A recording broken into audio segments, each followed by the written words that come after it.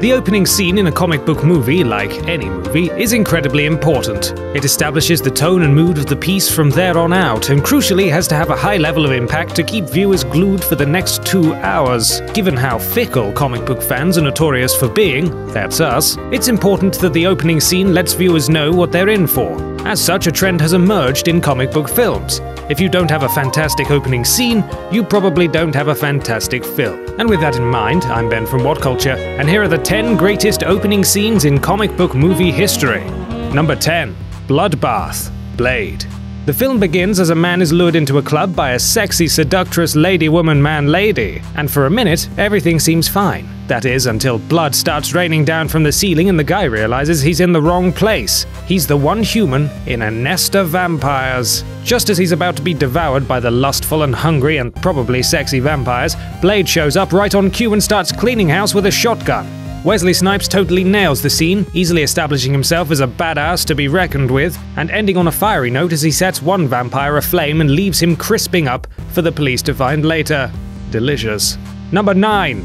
Nagasaki, the Wolverine. Taking place in a Nagasaki POW camp during World War II, a young Japanese soldier named Yashida notices two bombers overhead and raises an alarm, freeing the American prisoners in the process, Wolverine included, who insists that he join him in a well to escape the blast. Yoshida decides to do so just as Nagasaki is blown to bits by the bomb, but he's not out of danger yet. Logan then uses a metal door to shield Yoshida from the blast further, but it can only do so much, and the fire begins to burn Logan's flesh. Yoshida safe, the fire dies down and he looks on in utter amazement as Logan's skin quickly begins to heal. Before we know it, he's as good as new. A brilliant setup for what's to come and also the most impressive visual depiction of Wolverine's healing factor.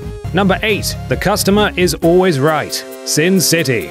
The opening scene of Sin City confesses everything about the film right off the bat that it's going to be visually stunning, sexy, dangerous, and a loving homage to the noir films of decades past. Josh Hartnett plays the salesman, a charming young gentleman who makes small talk with the customer, which we presume at first to be a come on. Soon enough, however, the tone of the conversation changes and it's clear that she has a problem to face up to. Can he be the man to help her? The two kiss, and then out of nowhere, the salesman shoots her with a silenced pistol, and it's over. The salesman then utters a sick quip as we zoom out to reveal the stunning cityscape, complete with a funky bass tune before it transforms into the movie's title. Number 7. The Mixtape Guardians of the Galaxy. One of my favorite Marvel films to be churned out of Disney's Dream Factory in the last few years, affairs kick off in Guardians of the Galaxy with a fairly gut wrenching scene where a young mixtape listening Peter Quill visits his mother's bedside as she passes away after battling cancer. Distraught, Quill runs outside and is promptly abducted by an alien ship before we fast forward to a moody opening on a destroyed planet. Adult Quill, or Star-Lord Man, then removes his mask slash helmet thing and starts dancing around to the tunes on his Walkman. It has gravitas, it's very daft, and it perfectly sets up the remainder of the film. Here's a picture of Groot. Number 6. Young Magneto. X Men First Class. The most compelling enigma in the X Men franchise is the past of Magneto and how he went from a concentration camp in Poland to become one of the world's most feared mutants. X Men First Class begins by offering a window into this question, with a young Erik Lehnsherr using his magnetic powers to bend a fence when he ends up separated from his mother. He's knocked out by a guard and brought to Dr. Schmidt, who wants to see Erik show off more of his powers by moving a Nazi coin with his mind. Erik can't do it, so Schmidt gives him an incentive by having his mother hauled in and giving him until the count of three to move the coin.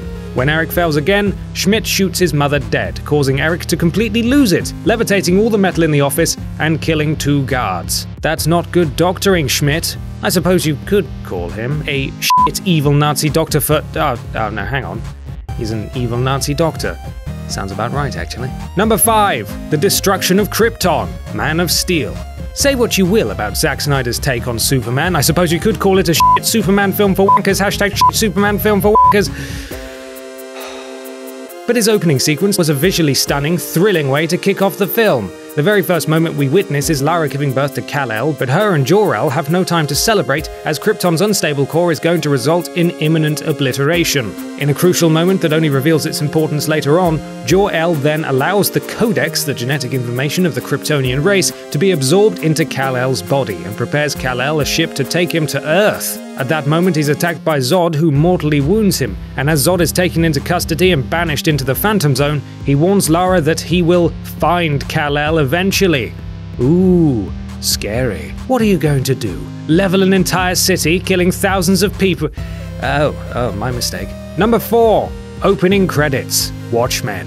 Set to Bob Dylan's iconic tune The Times They Are a Changin', the sequence trawls through countless indelible moments from history, such as the end of World War II, JFK's assassination, and the moon landing, but gives them all a gleefully subversive slant. We see two women kissing as the war ends rather than the famous male female picture. Eddie Blake, aka the comedian, is shown to be the gunman on the grassy knoll firing at JFK, and as Neil Armstrong lands on the moon, he is greeted by Dr. Manhattan, then, it's revealed that in this universe, Richard Nixon continues to get re elected, while the public asks bluntly, Who watches the Watchmen? as an angry protester throws a Molotov cocktail through a store window. Number 3. Nightcrawler attacks the White House. X Men 2. X2 gets off to a blinding start that instantly makes it superior to the fine original, as Nightcrawler attempts to assassinate the President of the United States. Naturally, being a blue dude who can teleport around, he's not the most inconspicuous figure, and after disabling a Secret Service agent, he finds himself having to take out a whole fleet of backup guards. The use of Mozart's Requiem combines with the visual brilliance to make an intense sequence in which Nightcrawler takes the security detail to school and breaches the Oval Office. Nightcrawler then takes out any remaining guards and pins the president to his own table, pulling out a knife with his tail as he does so. However, one barely conscious security guard manages to pop a bullet in his arm, startling him and causing him to promptly leave. However, he leaves the knife impaled in the table with a note reading, Mutant Freedom Now. Number 2. Bane's Mid-Air Escape. The Dark Knight Rises.